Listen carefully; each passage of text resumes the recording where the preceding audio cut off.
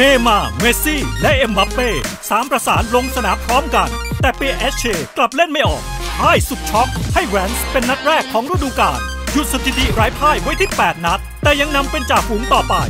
ไฮไลท์นัดที่ 10 อยู่ที่เปแอสเชจะได้เล่นในบ้าน รับอองเช่ร์ ต่างฝ่ายแพ้มาหนึ่งครั้งเท่ากัน และอีกคู่หนึ่งใหญ่โอลิมปิกลียง จะเปิดบ้านรับโมนาโก